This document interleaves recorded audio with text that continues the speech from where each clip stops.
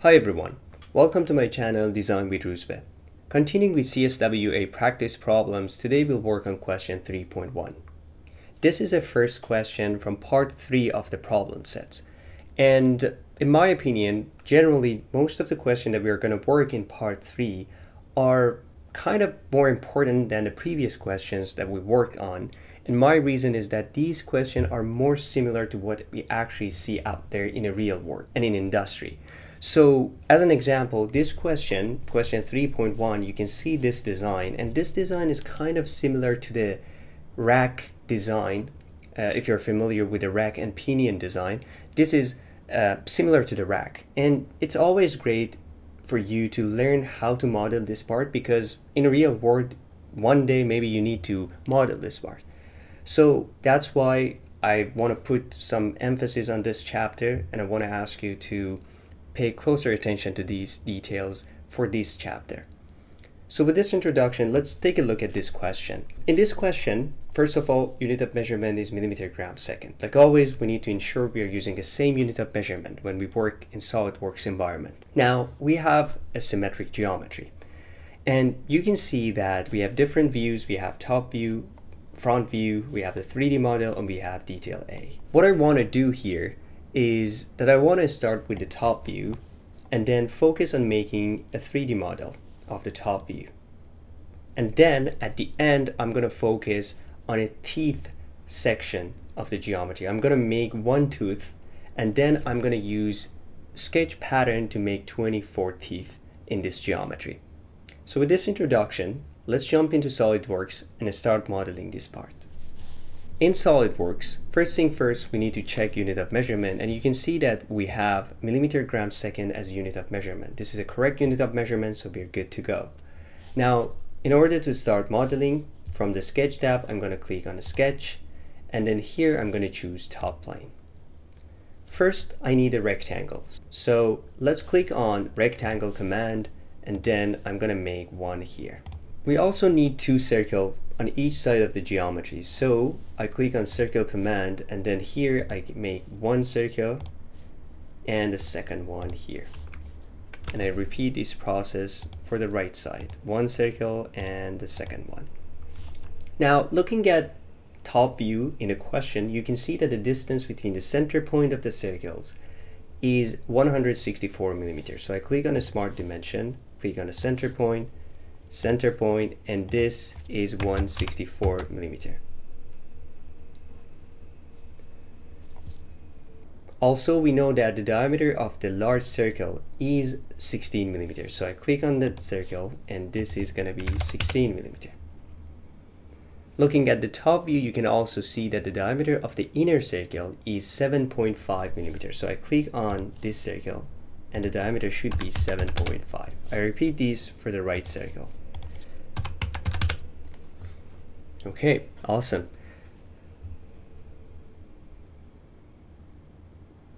So now we have a 2D sketch of the top view. We are ready to extrude this sketch. So let's click on feature, click on extruded boss. And then here I need to select the contour.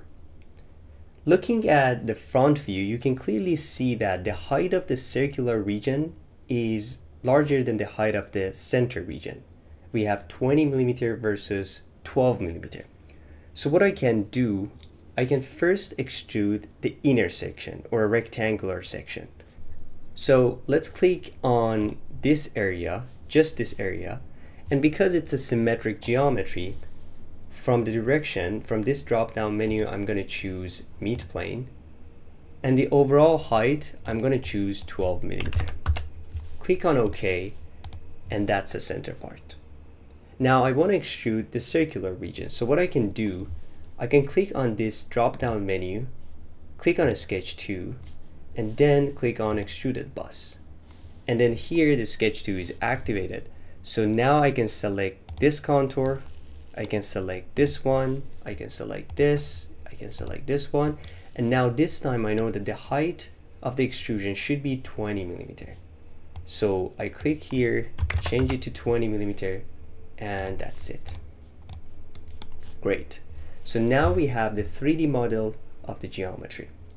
It's time to add the teeth and then we are done. Okay, so next step is focusing on the teeth. How can we make the model for the tooth? So what we can do, first of all, we need to focus on a front view. So I click on a sketch, I click on a sketch command, and then here I'm going to choose the front plane. Now here, all I need to do, because I want to use linear sketch pattern, I just need to model one tooth. So let's model that.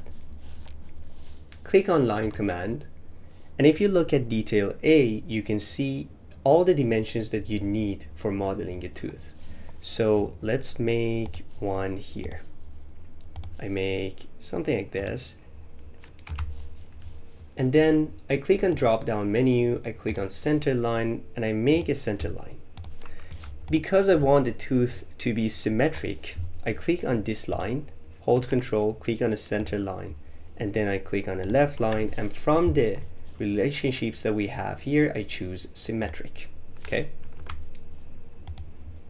Now we know that the angle between two lines, left and a right line, should be 40 degree. So I click on a smart dimension, click on this line, click on this line, and this should be 40.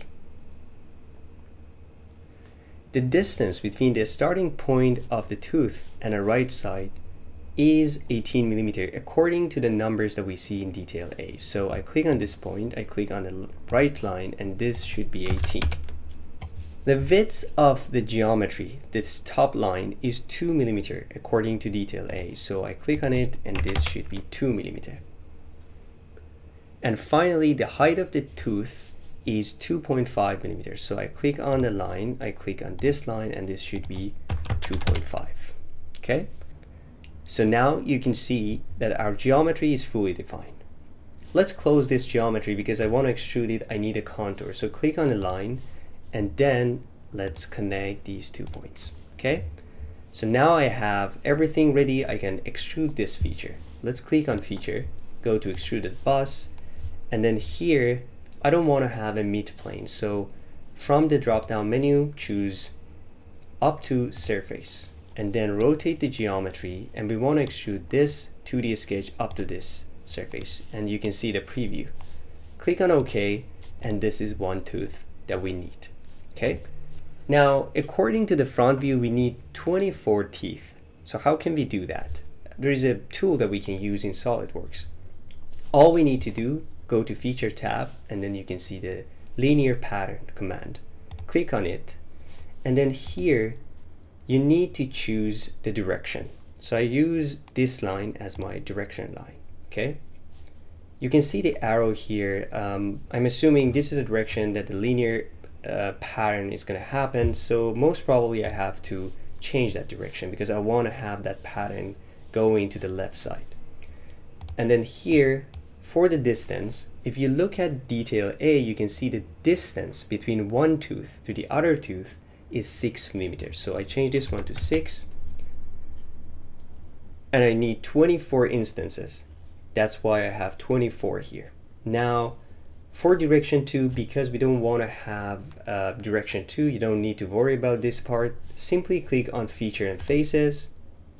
And then here I have to choose the object that I want to make pattern of. So to do this, click on this model tree and then I'm going to choose Boss Extrude 3, which is the tooth. I click on it and you can see the preview now. Click on OK. Okay, so that's it. That's the final geometry. Now it's time to check the total volume and make sure that this is a correct geometry. Let's go back to the question and find the total volume. In the question, you can find the total volume in the right side. You can see that the total volume provided is 38,144 cubic millimeters. Let's go back to the SolidWorks and find the total volume in our model. In SolidWorks, in order to find the total volume, like always, you can click on Evaluate and then click on Mass Properties. And here you can see the total volume. The total volume of the object that we have here is 38,144 cubic millimeters. This is exactly the same as what we've seen in a main question, which means that the modeling that we have here is correct. Okay, awesome. So that's a wrap for today's video. I hope you enjoyed this video. If you have any question or feedback, please leave comments down below. Thanks again for watching. Hope to see you again soon in the next videos.